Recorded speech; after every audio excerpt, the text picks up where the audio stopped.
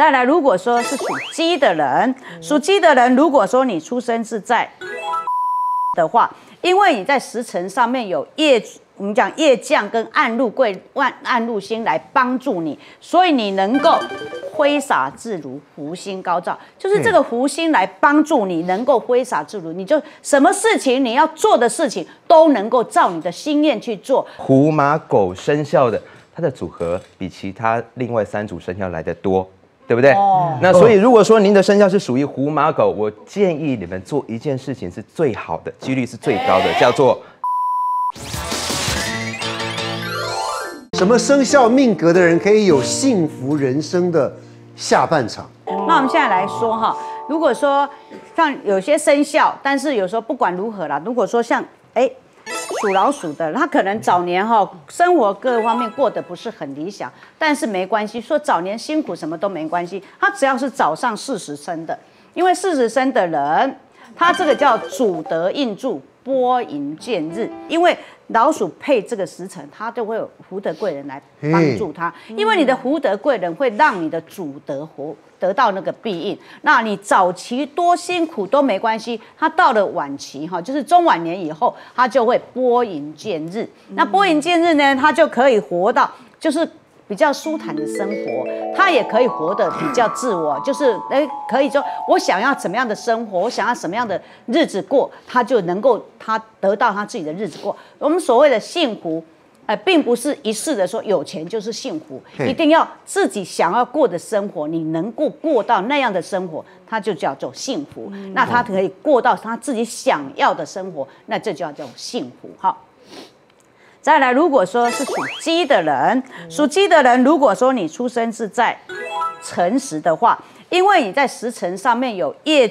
我们讲业将跟暗禄贵、万暗禄星来帮助你，所以你能够挥洒自如、福星高照，就是这个福星来帮助你，能够挥洒自如，你就什么事情你要做的事情都能够照你的心愿去做。比如说你。可能早期的时候，因为家庭，因为那种种种的环境，或是情感上，或是因为那个经济上的种种问题，你没有办法去实现你自己的理想。到了中晚年的时候，因为你只要是在辰属鸡是在辰时生的，那很可能到那个时候，你可以拨出时间。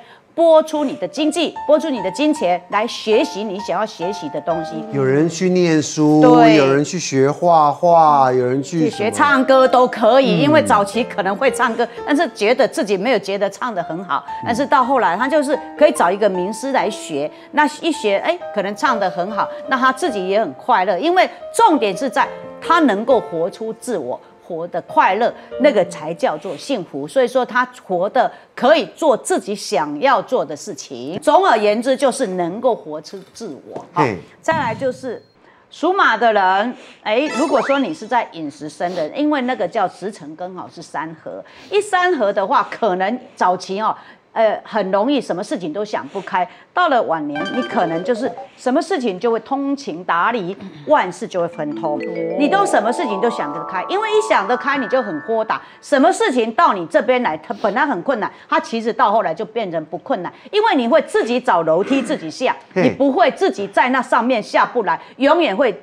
怨就怨天尤人，别人怎么样怎么样，你到后来你就会知道说这个是跟自己的个性上面有关系。那你自己个性方面能够豁达，自己能够想得开，就是能够达到通情达理的状态，你自然就会万事亨通，什么事情你都会很困很快乐，你也可以结交到很多朋友。万一有什么困难的事情，朋友也会来赞助你，因为你不会像以前这样子跟人家斤斤计较，什么事情都很豁达。那朋友来帮助你，所以很多事情你就会过得很好，也是能够活出自己的自。我那只要你和可以活出自自我，你就表示说，哎，你这个就是你的幸福。幸福只是说能够完全达到自己的想要的事情，就叫做幸福。李行老师啊，可不可以从我们的生肖里面看出我们自己的幸运数字呢？好的，的确啊，每一个是。等一下，请问我们现在讲的是车牌，那我们的手机？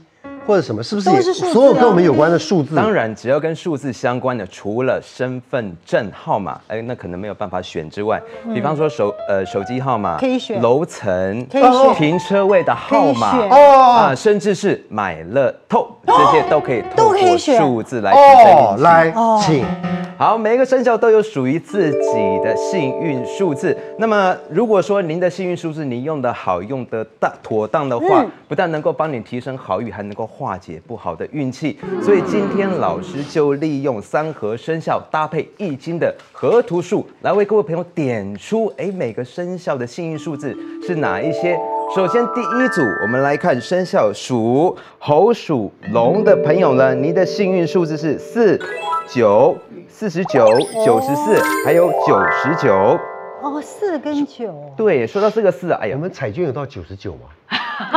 你可以选跟九有关的啊，或四有关的哈？停车位、手机号码连续两个九。哦，好。不过说到这个四啊，老师在这里真的要帮这个四说一说话了。其实中国人对于四啊，都是打一个很大的疑问，对，哈，有谐音嘛。可是因为四呢，它以阳宅风水，特别在易经的河图数里面，他主管的文昌，文昌主管什么？文昌主管的考试运，主管的读书运，主管的工作运。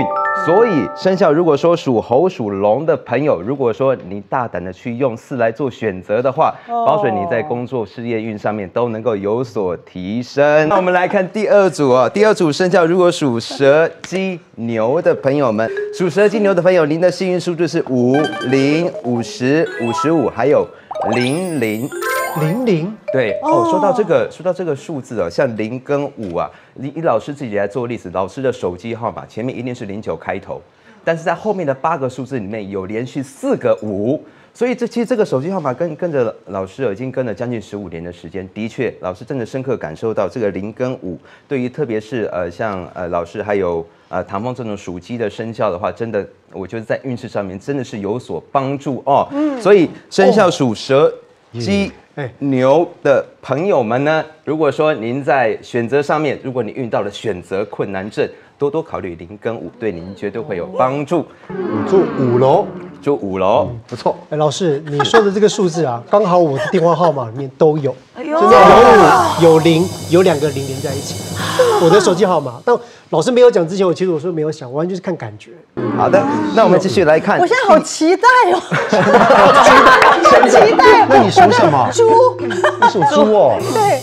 好了，那我们看第三组，第三组的呃生肖，如果是属虎、马、狗的朋友们呢？哇哦，您的幸运数字是二三、二七、三八以及七十八。哎，各位朋友，你们有没有发现一件事情？属虎、马、狗生肖的，它的组合比其他另外三组生肖来的多。对不对？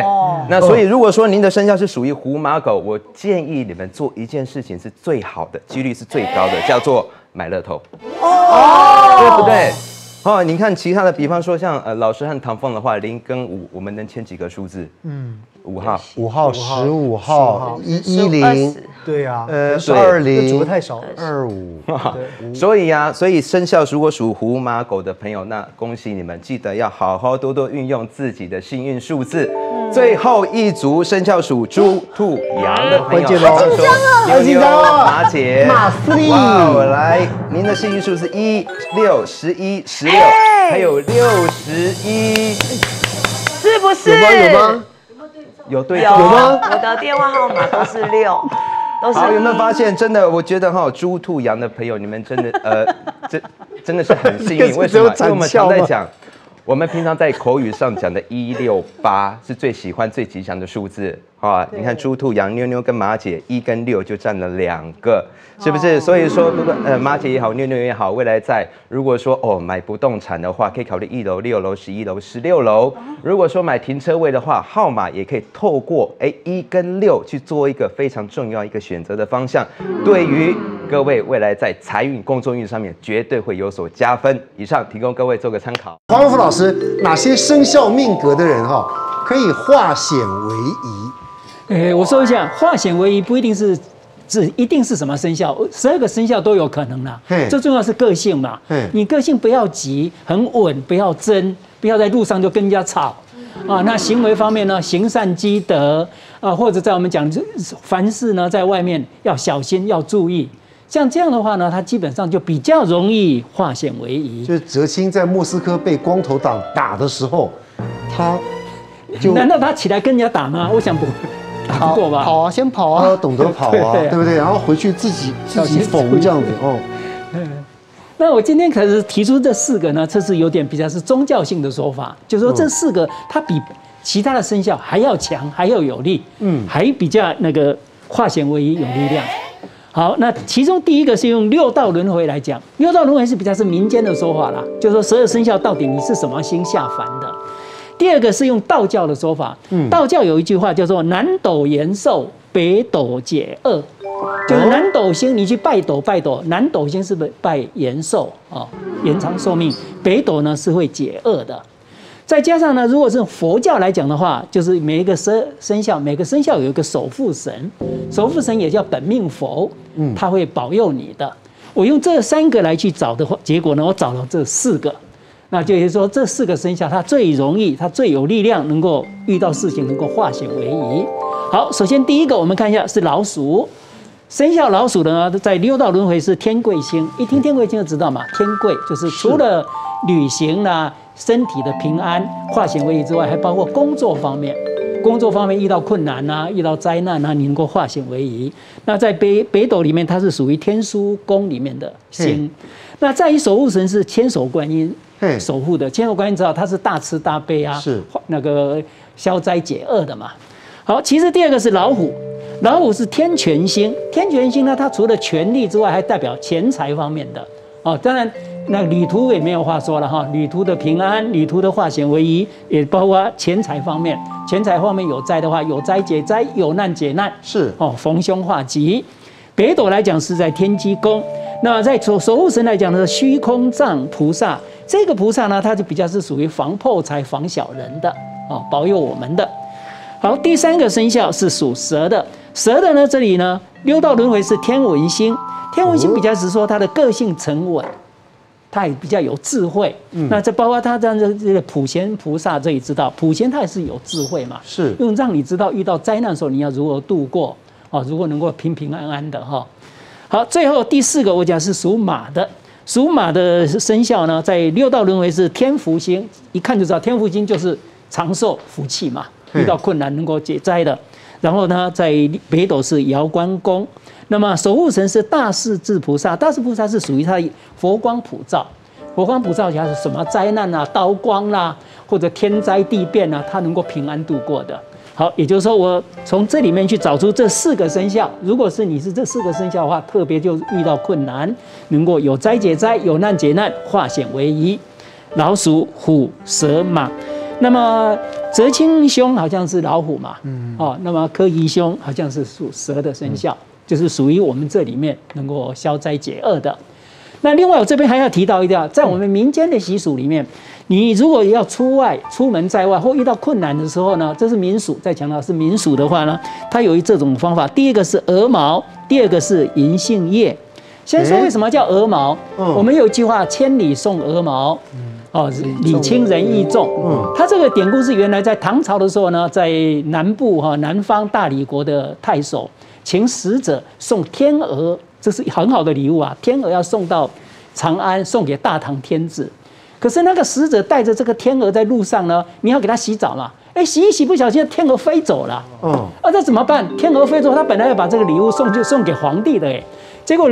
天鹅飞走还好，在水里面还留了一根一只鹅毛。嗯，结果呢，那个使臣没有办法，就带着那一只鹅毛千里这样子走走走走。你看一路上一定很灾难，很多灾灾厄啊。是，在古时候的旅程里面，结果呢还是平平安安到达皇帝那边。嗯，啊，到达皇帝那边，他很担心皇帝会处罚他。嗯，本来是天鹅，怎么变成一根鹅毛呢？是，结果没有想到皇帝反而是称赞他，千里送鹅毛，礼轻人意重。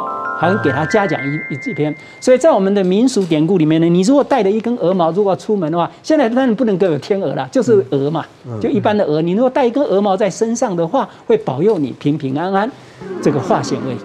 哦，那至于银杏叶呢？银杏叶它本身就是一种长寿、一种很很好的一种植物，但是它的叶子就很像天鹅的鹅的脚掌、脚掌的样子，所以呢，就是说出门如果你能够带个鹅毛。或者鹅就是普通的鹅就好，不一定有天鹅了哈。或或者是银杏叶的话，带在身上，你就一路上如果出门在外的话，可以平平安安，逢凶化吉，那个化险为夷，哦，那这是民俗呢，给观众朋友做参考。谢谢老师。